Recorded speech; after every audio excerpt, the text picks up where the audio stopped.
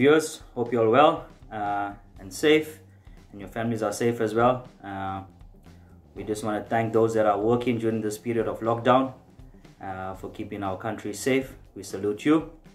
And uh, for those that are at home, uh, just be safe. And um, obviously, I know it's becoming frustrating to be locked up in your house, uh, but let's make the most of it.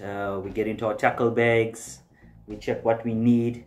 Uh, so when we out of lockdown, we get to the stores, we get our stuff, and uh, apart from that, we try to improve on our traces, our knots, and uh, just to better ourselves in fishing.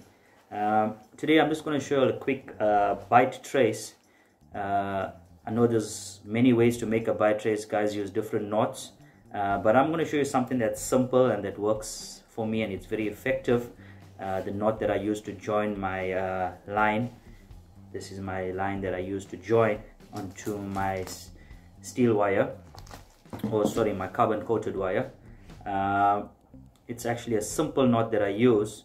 Uh, I know some of the guys put it them together and then they try to make the figure of eight and then it starts to kink and stuff like that. But I'm just going to show you quickly how I do this. So I'm using uh, 120 pound uh, Fishmade carbon coated uh, stainless steel wire. Uh, does it here 120 pound uh, you can go some guys like to go thicker some guys like to go lighter depends what you're targeting. Uh, but I'm just using 120 pound now that's what I found in my box. So just for demonstration purposes I'm going to use 120 pound. Uh, and some guys like to make the traces different lengths. So we're going to use about uh, say 400 400 to half a meter. And uh, my hook I'm using is a 7 tuna circle 7 tuna circle. Uh, you can use this for your hammerhead sharks uh, for your smaller grays even for targeting your edibles as well. So I'm sure everybody's aware of how to snell a hook. So there's the hook. It's a circle hook. So we're gonna complete the circle. So if we go from the underneath on the top smash it there. You can go one two three four five six seven. I like seven. Lucky number seven. Okay snout. If you've seen uh, previous videos of Ray Thompson he uses a lighter he just burns it so it holds together. But uh, for this purpose we're not going to do that. And if you see there's a circle there's a circle. So this is basically our 7 tuna circle on a 120 pound uh, carbon coated steel. Now we're going to use our and now I'm going to join it to my Maxima 0.77 line. So depending how long you want to make your trace let's go another half a meter here. I'm going to use a half a meter here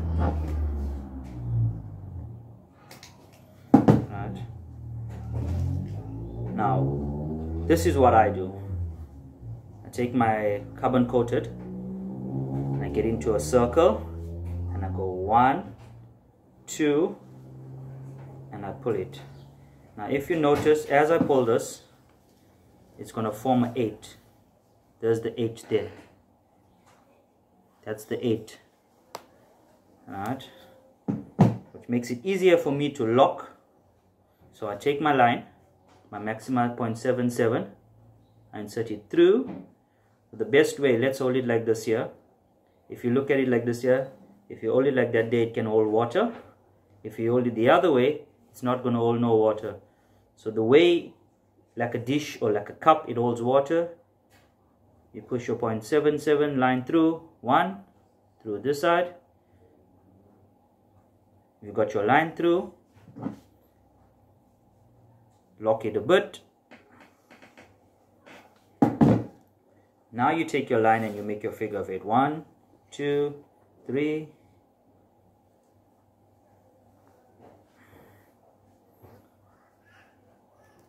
Untangle it. With your knot a bit. Lock your line. Pull your line. Your hook and your nylon you pull it.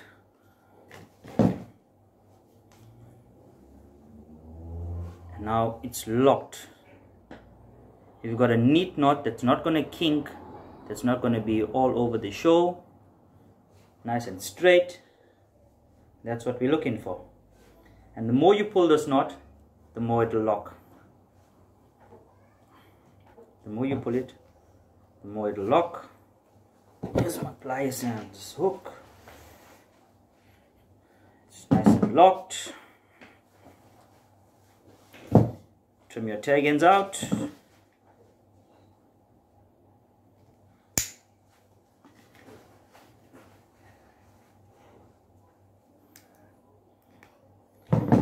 Tag ends out. You've got a neat little knot that's not going to kink. And that's what you're looking for when you're making your trace. You don't want your coated nylon to kink and then you take your I've got a 1 0 no actually not a 1 a size 1 not a 1 0 a size 1 swivel power swivel.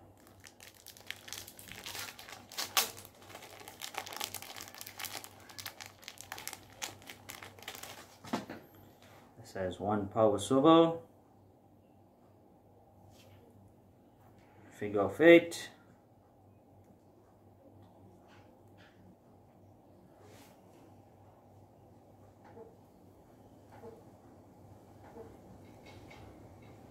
figure of 8 wet it lock it.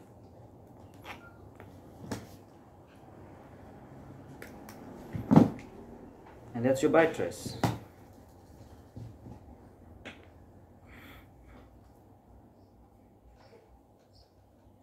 That's your bite trace.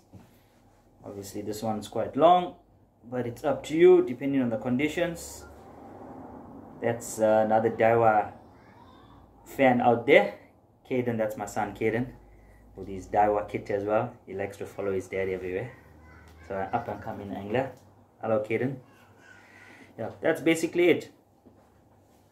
And this is how it's gonna move. It's gonna sit nicely. Good. Well next one I'll show you how we bait this up. So guys be safe out there during this lockdown period. Uh, we wish you and your family well and uh, we'll see you all on the beach sometime